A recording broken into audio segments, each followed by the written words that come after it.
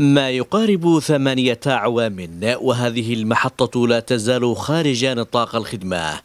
رغم جاهزيتها للعمل إلا أنها لم تزود بحصتها من كميات الغاز حتى اليوم.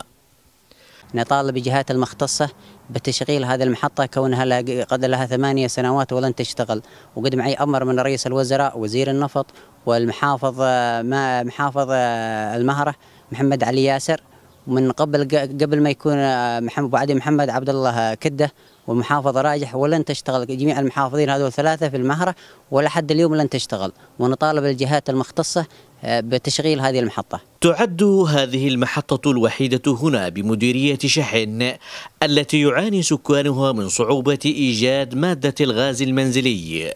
في ظل تقاعس الجهات المعنية عن تشغيلها لتخفيف معاناتهم المستمرة. حاجة الناس في هذه المحطة لأنها تشحن تستضيف كثير الوافدين من جميع المحافظات في اليمن وكثافة السكانية وأزمة الغاز خانقة والآن الناس أكثر الناس يتعاملوا إلا بالحطب ماشي غاز في مديرية شحن.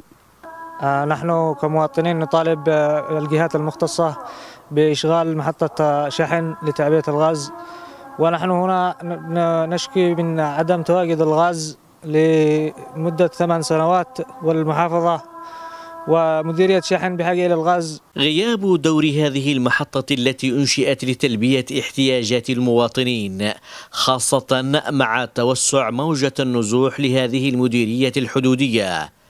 دفع بالكثيرين هنا لمناشدة الجهات المختصة للتوجيه بسرعة تشغيلها وتزويدها بحصتها المطلوبة.